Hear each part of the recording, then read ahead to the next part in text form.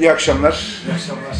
Ee, sevgili Yunus Özyavuz, diğer bir adıyla ee, Sagop Kajmer, Sagopa Kajmer'le İzmir'de beraberiz. İzmir'e hoş geldin. İlk öncelikle nasılsın, iyi misin? İyiyim her zamanki gibi yoğun çalışma temposu devam ediyor. Bu sefer de İzmir'deyim. Uzun süre sonra Özbek'teyim. Şimdi ilk öncelikle şunu sormak istiyorum sana. Ee, İzmir denilince aklına ilk gelen şey nedir? İzmir denince aklıma ilk gelen şey boyoz. Boyoz ve iki şey. İki şey diyorsun. Ben sana bir şey hatırlatayım. 1998 yılı. Sen seneleri, yılları çok iyi bi- bilen birisin. İlk konserim de İzmir'de. Ee, e, fuarda onu 20 hatırlatayım. miydi öyle bir yer sanırım. 1990. Oradaki e, ilk sahneye çıkışından başlayalım mesela. Çok kısa bahsedelim. Duygu, düşüncelerini, heyecanını bize de paylaşır mısın? İzmir'deki ilk konserimde o zaman tabii daha sert müzik yapıyordum. O zaman daha heyecanlı bir genç çocuk. Sanırım 20 yaşında falan. Yani 20 yıl önce. Belki de hiç unutmadığım, aklımda hala izleri olan 5 konserden biridir. 1998 konseri çünkü ilk albümde, ilk şarkılarımda, insanlarla ilk paylaşımlarımda hoplayıp zıplayıp şarkılar söylüyordum. Çok güzeldi İzmir konseri o zaman. Samsun doğumlusun.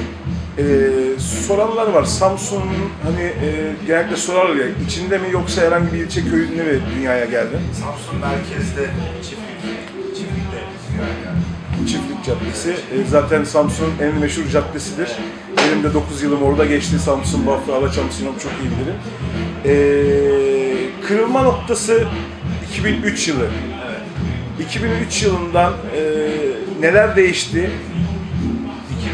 2003 yılında ciddi anlamda bir albüm yapmaya karar verdim. Güzel e, bir devrim niteliğinde, yenilik niteliğinde. Pesimistin Gözyaşları'nın albümü piyasaya sürdüm. O albümün önemli özelliği double CD olmasıydı. Ve aynı zamanda hiç bu kadar müzikal ve lirikal bir, bir araya getirmemiştim yani. Daha evvelki projelerimde müzik daha sertti, sözler daha sertti ama bir pesimistin gözyaşlarında iki harmoniyi yan yana getirdim. Umuyorum. İnsanlar da bunu benimsediler. Ve bir kırılma noktası oldu benim açımdan. Tabii daha sonra böyle yaz müzik yapmam. İşte haricinde. İyi bir ödülü. Bunlar kırılma noktalarıydı benim için. Şimdi e, kendi görüşüm ve seni çok seven e, fanların diyeyim, dostların diyeyim, o şekilde hitap edeyim. E, şunu merak ediyorlar. Türkiye'ye benim şahsi görüşümden bir tanesi de rap'i e, siz ve sizin gibi bir iki tane sanatçı dostlarımız rap'i Türkiye'ye sevdirdiler. Siz getirdiğiniz gibi bir şey oldu. Yani kartel kartel vardı o zamanlar. E, kartel yurt dışında müzik yapıyordu. Bunu size defalarca sormuşlardı, gündeme getirmişlerdi, sormuşlardı size. Ya benim görüşüm e, Türkiye'yi gerçekten rap'i e, sizin sevdirdiğinizi ben biliyorum. E, bazı kesim şöyle diyor, e, rap söyleyenlerin işte e, kültürü, edebiyatı fazla iyi değil ama edebiyat dediğin zaman da edebiyatçı olarak da e, çok iyi bir yerlere gelmiş birisiniz. Kültür seviyenizi hiç kimse ben e, sizinle ölçeceğini sanmıyorum. E, e, öyle rapçi arkadaşlarımız, dostlarımız var ki kimsenin bilmediği kültürel faaliyetleri, kültürü, her şeyin cazını, onu bunu, Afrika'sından her şeyi çok iyi biliyorlar. E, o tarihten bu yana çalış yaptıklarının e, ulaşabildiğin yere ulaştın mı? Mesajlarını verebildin mi? Neler değişti? Duygularını almak istiyorum ondan. Aslında başlangıç 1998 olarak kabul edersek aradan 20 yıla yakın süre geçti. Bu 20 yıl içinde yaptıklarım birçoğunu yani %100 üzerinden söylersek %70'leri kazandırdım insanlara yani içimdekini aktarabildim. Ama bir %30'luk kısım var onu daha aktaramadım. o %30'luk kısmında herhalde yakın zamanlarda insanlar tarafından daha benimsenecek. Çünkü tam, tam anlamıyla bugüne kadar yazdığım liriklerin çok anlaşıldığını düşünmüyorum açıkçası. Yani bazı kısımlarının anlaşıldığını düşünüyorum. Her şarkının spesifik cümleleri var. Alınan yani insanların benimsediği. Ama benim benim e, önemsediğim liriklerim daha farklı, daha derin olanlar. Yani Yani üstün yüzüne çıkmamış olan çok bir şarkı sözüm var. Ve insanlara ulaşmış şarkılar bunlar. Fakat insanlar onların derinliklerini hala çözemediler. Umarım bir gün çözerler. %30'luk kısmı yakın zamanda tamamlarız. Önümüzde uzun yıllar var tabii ki. O %30'luk kısmını elde ettikten sonra tekrar bir %30 daha olacaktır. Çünkü nesil sürekli Evet, değişiyor evet. değil mi? Anlayışlar da değişiyor. İdrak kapasiteleri farklı insanların. Yani e, bir şarkıyı beş insana dinletin, hepsi farklı şeyler düşünecektir. O yüzden e, yüzde yüzü tamamlamak çok zor olsa da 50'yi aşmak güzel bir şey. Ya bence benim görüşüm sen yüzde yüzdelinin çok çok üstündesin. Ee, çünkü yorumları okuyorum, bize gelen mesajları okuyorum, soru yağmur tutmuşlar, binlerce sorular var. Biz tabii içinden e, vaktimiz olmadığı için e, içlerinden birkaç tanesini seçip ancak sana gelebildik. Ee, onun haricinde sormak istediğim şey dijital platform hakkında düşüncelerini almak istiyorum. Bu bizim için önemli. Dijital platformlar bize aslında yol gösterici oldu. Bir anlamda korsan müziğe karşı dijital platformlardaki yasalar diyeyim yani kurallar çok ağır. Dolayısıyla bizim işimize yaradı müzisyenler olarak. İnsanlara e, şarkılarımızı ulaştırmamız bundan önceki dönemlerde dijital ortamların, dijital platformların olmadığı dönemlerde biraz daha zordu. Kendi sitelerimizden paylaşıyorduk. Fakat biz e, son özellikle 4-5 yıldır çalıştığımız Orchard'la beraber dijital platformlarda harika harika ilerliyoruz. E, insanlar çabucak şarkılarımızı elde edebiliyorlar. Bütün platformlarda. Ee, bu tabii ki müzisyenler için, gruplar için, hatta plaj şirketleri için harika bir şey. Çünkü paralarını kazanabiliyorlar, kendilerini iyi tanıtabiliyorlar ve platformlardaki yerlerini alabiliyorlar. Dolayısıyla dinleyicileri de sanatçıları yakından takip edebiliyor. Önceden zordu, şimdi daha kolay. Şimdi eee, şöyle bir soru soracağım. İnanılmaz derecede eee, çok yoğun, gerçekten çok kişi aynı soruyu sormuş. Normalde sorma taraftarı değildim ama gerçekten çok soru olduğu için eee, sormak istiyorum. Şimdi rap camiası dediğince ilk başta gelen isimlerinden bir tanesisin, en üst seviyelerdesin. İkincisi eee, ceza, eee, fes vesaire vesaire. Ve bu eee, rap camiasındaki bir e, eskiden gelen bir tartışma olayları var biliyorsun. E, bunlar ne seviyede e, düzeldi mi, devam ediyor mu? Yani neden böyle oluyor? Hani e, fikir ayrılıkları tabii ki her şey bir camiada olur. Ama bunlar tabii ki herkesin diline düştü. Seyirciler bölündü, rap camiası bölündü. E, sonradan bunlar birleşti mi? O, o konuda eksiyiz bilgi olarak. Senden Her duymak şey istiyoruz. Yani kimsenin kimseye iyi, iyi olma gibi bir şartı yok. İnsanlar birbirleriyle küsebilirler, bozuşabilirler, daha hiç birbirlerini görmek istemeyebilirler. Tabii ki. Ben özellikle hayatımdaki disiplinim arkadaşlarım, sevenlerim tarafından bilinir. Çok disiplinliyimdir. O nedenle yanımda bulunmasını istediğim arkadaşım olarak adlandırabileceğim insanların çok iyi seçilmiş olması gerekiyor ki benim 5-6 tane arkadaşım var yani 10 değil. Yani böyle değil, böyle. Bunun da e, tamamının benimle ilgili olduğunu düşünüyorum. Yüzde yüz çünkü e, dediğim gibi çok katı kurallarım var. Yani bunun raple bir alakası yok. E, bunun müzikle bir alakası yok ya da çekişmeyle, kıskanmakla, incinmekle bir alakası yok. Yani bunun tek sebebi var benim bakış açım. Yani ben böyle baktığım için böyle oluyor. Yoksa herkese göre her şey normal. Ama ben böyle baktığım için bana göre normal olan şey şu anda yaşadığım teklik. Teklik. Yani yanımda çok kişi görmek istemiyorum. Fazlası zarar mı diyorsun yoksa nasıl diyelim yani? Yok kişileri tercih etme meselesi. Yani bir yemek yiyorsun ve orada içeceğin içeceği sen belirliyorsun ve yemeğini de sen belirliyorsun. Yemeği doğru belirleyip içeceğini yanlış belirlersen yemek lezzetinde bütünsel bir problem yaşarsın. Eğer yemeğini ve içeceğini doğru seçersen harika bir yemek yersin, üstüne de güzel bir sigara içersin. Süper bir cevap oldu. Peki eee, uzaklaşalım. 2018 yılına girdik. Mart ayını bitiriyoruz, Nisan'a giriyoruz. Neler yapıyorsun? Yenilikler var mı? Tabii ki sende yenilikler hiç tükenmez. Ben e, şarkı odaklıyım. Yani şarkılara odaklıyım. Lirikal açıdan e, kendimi tekrar etmemek için bir süre yazmaya ara verdim. Farklı duygu depolarına yöneldim. Depolarda arıyorum şeyler. Umarım yakında çok güzel şarkılarla dinleyicilerimin karşısına çıkacağım. Onların beklediğini de biliyorum. Çok sık şarkı bekliyorlar benden. Ama iyi olan şeyler genelde seyrek seyrek çıkar. Yani her zaman iyi bir şey çıkar, çıkaramam. O yüzden de iyi bir şey olduğuna inanmadan insanlara sunmak istemiyorum. Zaten geçtiğimiz sene 2017 yılı benim için çok iyi geçti. Hatta bugüne kadar en çok izlenen şarkımı 2017 yılında yaptım. 366. 306. Sertlik Kanıda var hayatım, Gülçinler. Bunlar hep bana çok pozitif etki eden şarkılardı.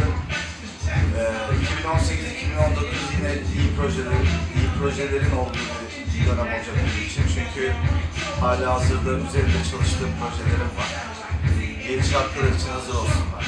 Mesela tarih yani bu sene 2018 yılı içinde çıkacak bir şeyler. Tabii. Hatta çok yakın bir süre. Bir elin on parmağı gibi. o kadar diyorsun. Tam tarihi vermiyorum. Sürpriz Tam olsun. tarihler bir sürpriz olsun. Yani single tarzı mı yoksa albüm Single, olarak single. single olarak? Şu anda single çıkarıyorum ama e, ne zaman ki Türkiye'de albümlere gerçekten albüm gibi değer verildiğini hissettiğim zaman yeni bir albüm yapmayı düşünüyorum. Hatta onun da çalışmalarına girdim, çoktan girdim. Ama albüm benim için çok önemli, değerli bir şey. İnsanların insanların gözünde de çok değerli olmasını isterim. Çünkü bir albüm çıkarıyorsunuz, iki hafta sonra albüm konuşulmuyor artık, bitiyor. Yeni albüm bekliyorlar. Bu da müzisyenleri, grupları, sanatçıları güzel yani. Gerçekten bu kadar emek verilmiş bir proje. Sonuçta albüm içinde, hani benim albümlerim içinde en az 14-15 şarkı oluyor. Dolayısıyla bunların her birini bir birer haftada yaptığını düşünsen bayağı bir zaman harcıyorsun. Tabii ki. Ee, Türkiye'de de şu aralar Sabun Köpük, bütün albümler, şarkılar bir hafta dayanıp gidiyorlar. Dolayısıyla şarkı çıkarmak ve insanlara o şarkıyı tanıtmak, onların onu hazmetmesini sağlamak daha mantıklı geliyor bana albüm yapmaktansa. Fakat tabii ki ben isim, ismi olan biriyim en azından bu müzik türünde. O yüzden benden albüm bekliyorlar ki arşivlerine yazsınlar. Yapacağım yani, yapmayacak değilim. Yapacağım ama zamanı bilmiyorum. Doğru, doğru enerji, doğru ilham, Doğru zaman. doğru zaman. Yani şöyle söyleyeyim, e, biraz önce de sen bahsettin hani albümler çıkıyor, e, çok kısa sürede unutulabiliyor, yenisi başka y- yere yönelebiliyorlar ama e, senin çıkartmış albüm, çıkartacağın albümlerin böyle e, çok çabuk unutulabileceğini sanmıyorum. E, çünkü inanılmaz derecede çok seviliyorsun. E, yani e, gördüğüm kadarıyla yani üst seviyedesin ya, öyle söyleyeyim yani, hani öyle böyle değil. E, biraz önce e, yayına başlamadan önce söylemiştim sana. e, ölümüne sevgi, sevgi var sende. Nasıl bir şeyler yaptın? Bu seviyeye insanları e, o nasıl bir söz e, ruhunda yazdın ki bu insanlar sana bu kadar bağlandı? Dürüst. Dürüstüm. Hiçbir zaman hissetmediğim şeyleri yazmadım. İnsanları etkilemek için ya da başka etkilemeler için bir şey yapmadım. Sadece yazdım, okudum. Çoğunu da karalamadan. Yani herhangi bir sayfayı böyle tutsanız bir şarkı sözlerini, üstünde 3-5 yeri üstünde çizik görürsünüz. Bunun haricinde hiçbir şeye dokunmam. Çünkü onu, o müziği dinlerken, onu yazarken onu hissederim. Kağıda onu yazarım. Daha sonra okurum. Beğenmediysem bile o şarkı öyle yazılmıştır, değiştirmem. Belki de en büyük eksikliğim bu. Şarkıyı yaptığım zaman öyle kaydederim ve onu öyle veririm. Çünkü onu hissettim. Üstünde düzeltme yaptıkça duygudan uzaklaştığımı gördüm çünkü zamanla. Ve her zaman içinde bunun doğru olduğunu inanıyorum. Hissettiğini yaz, çok fazla düzenleme yapma, neyse o. Yani bir de şöyle bir şey var. Ee, sözleri hani merak ediyorlar. Daha önce de çok röportajlarım var. Sözlerini yaşanmışlıklardan mı alıyorsun, nasıl yazıyorsun? Şöyle bir cevabını hatırlıyorum. Uzun zaman önce söyledim. Daha çok da söylemiş de olabilirsin. İlk önce müzik dinliyorum. Müziği e, dinledikten sonra sözlerimi yazıyorum. Ya bu tarz mı? Nasıl oluyor? İlk önce müziğimi oluşturuyorum, müziğimi de kendim yapıyorum. Müzik defalarca dinliyorum. Hatta sıkılıyorum bazen. Ama defalarca dinliyorum. Sonra mırıldanmaya başlıyorum. Daha sonra yazıyorum. Biraz daha mırıldandıktan sonra ufak ufak tuğlalar üst üste geliyor. Ortaya bir şekil çıkıyor. O şekli beğeniyorum. Genelde beğeniyorum çünkü çok ince ediyorum yazarken. Her cümlenin önemli olmasına özen gösteriyorum. Çünkü önceden bazı cümleleri sallıyordum şarkı bitsin diye. Yani gitmiyor çünkü şarkı bitsin Hala iki bölüm geçmiş. Üçüncü bölüme gelince zorlanıyorum. Bilgisayarı kapatıp çıkıyorum. Bir şeyler için tekrar geliyorum. Bazen hiçbir şey yapamıyorum. İki ay boyunca hiç yazamıyorum. Aynı müziği dinliyorum. Mesela almak ıslatan şarkımı öyle. İki ay hiçbir şey yazamadım. İki ayın sonunda bir ilham geldi de. Yani şöyle bir ciddiyet var. Hani dinleyicilerin e, bilen bilir, bilmeyenler de değerini bilmez o parçanın. E, yapılan her parçanın 3 dakika, 3,5 dakika, 4 dakika, 5 dakika neyse o 4 dakikalık belki şarkı belki bir ayda belki 2 ayda yazıldığı da oluyor. İnanılmaz bir emek var. E, hele ki rap tarzında, Türkçe rapte olması daha da bir zor anlam.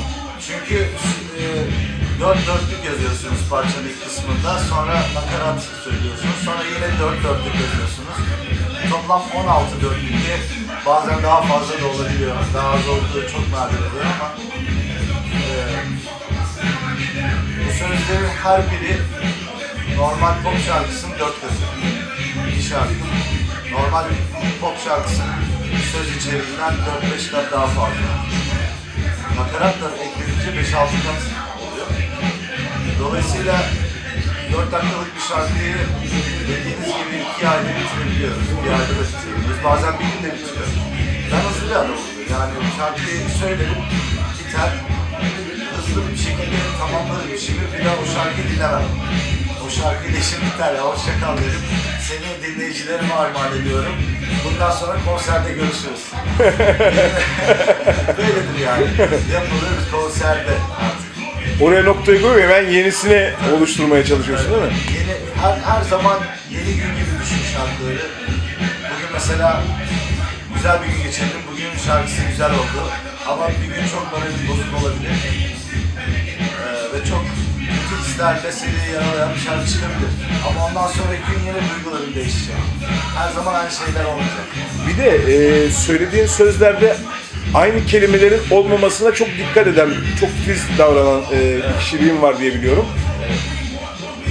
Bir de e, şöyle bir şey daha merak ediyorum. Türkçe rap söylüyorsun, arabesk rap de- deniyor. E, Türkçe kelimelerin haricinde biraz Arapçaya kaçan kelimeler kullanıyor musun peki? Ben önceden çok sık kullanıyordum. Hatta 2000'lerin başında kullandığım şarkılarda fazlasıyla Farsça kökenli sözcükler vardı. Daha sonraları Türkçeyi daha çok yo- e, yoğunlaştırdım şarkılarımda çünkü insanlar anlayamadıklarını söylediler. Şimdi daha duru bir dille yazmaya çalışıyorum. O nedenle yazmak daha zor şimdi çünkü araya biraz eski cümle girdiğinde kafiye oranı daha yani kafiye yazma daha kolaylaşıyor. Ama artık eski kelimeleri çok fazla kullanmak istemiyorum. Çok da yenileştirilmiş kelimeleri kullanmak istemiyorum. Onlar da bana çok yapmacık geliyor. İlkokul, ortaokul, lise, üniversitede öğrendiğim kelimelerle devam ediyorum diyeyim yani. Benim kendi jenerasyonumda bilinen kelimelerle devam etmeyi tercih ediyorum. Çünkü dediğim gibi bazı yeni kelimeler, Türk Dil Kurumu'nun kattığı kelimeler bana fazla abartılı geliyor. O yüzden çok kullanmıyorum bir dilci olarak bir edebiyatçı olarak da Türk Dil Kurumu'nun bu konularla biraz daha ilgilenmesini rica ediyorum. Çünkü bu değil yani. Mesela CD çalara ya da plak çalara tekerlek çalar denmesini istemiyorum. Tekerlek değil. CD. Demek daha bana yakışır. CD olsa da. CD demek bile daha işler. Tekerlek çalarlar zaten. Sevgili Sagopa Kajmer, e, bizleri kırmayıp kabul ettiğin çok teşekkür ederiz. Ben de teşekkür ederim. Biraz sonra konsere çıkacaksın ve içerisi şu an e, çığlıklar, ıslıklar geliyor. Mekan dolmuş. E, sana iyi konserler diliyorum. Teşekkür ederim. E, Sağ olun. E, biz de yeni çıkacak olan single'ına şimdiden e, hayırlısı olsun diyorum inşallah. Teşekkürler, teşekkürler. Kendinize çok iyi bakın. iyi sahneler diliyorum. Görüşmek üzere. Sağ olun, selamlar.